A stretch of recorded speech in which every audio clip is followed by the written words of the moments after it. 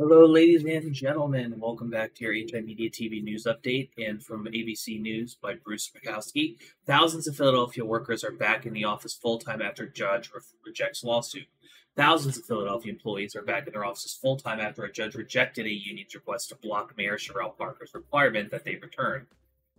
This Council 47 of the American Federation of state, county, municipal employees has sued the city, claiming the mandate violates its contract and would harm city workers. The union, which represents 6,000 administrative and supervisory employees, has also filed an unfair practices complaint with the Pennsylvania Labor and Relations Board, which is still pending.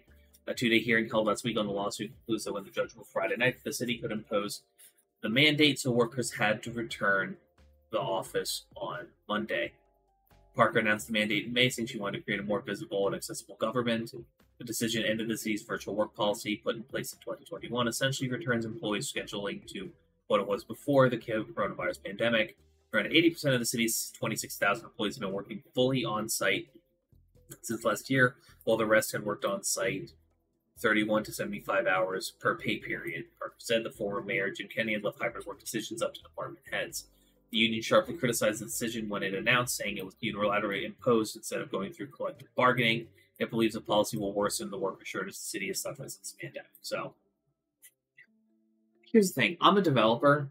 My entire job is done digitally and can't be done effectively in a remote setting. And so, I generally am against, um, you know, pushes to full time in office. I will say, like, there is a part of me that does think that, yes, you know, public workers should be, like, in working in public buildings doing the public good, but at the same time, though, like that is not the case. Like eighty percent of the people are back in the office. That means, like, I'm fairly certain that if twenty of those percent of those people are working hybrid, that means that they are not so public facing that it's a thing. I think ultimately the push to get everybody back in here is just some weird boomer shit with the obsession of like control, which I is gross and I hate it and I don't like it and unfortunately we don't necessarily like unfortunately like I, I'm, I'm I, I I want I I only want you know union victories, but you know obviously this isn't going to work.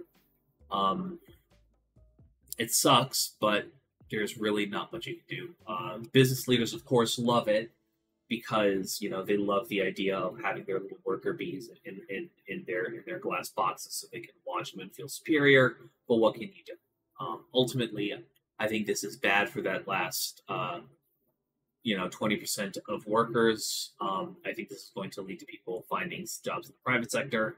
I think this is going to make again, like the article says, make it more difficult for uh, the city to have more uh, public works workers uh, available to them, and think unfortunately, you know, sidestepping the union this way sets a bad precedent, like a really bad precedent going forward. And it's deeply concerning and frustrating. Hey, thanks for watching.